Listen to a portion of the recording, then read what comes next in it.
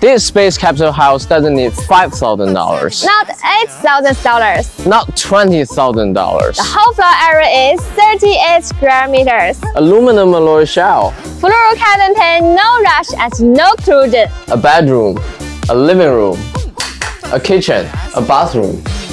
Floor-to-ceiling windows with panoramic views. Fine decoration, The room is very bright.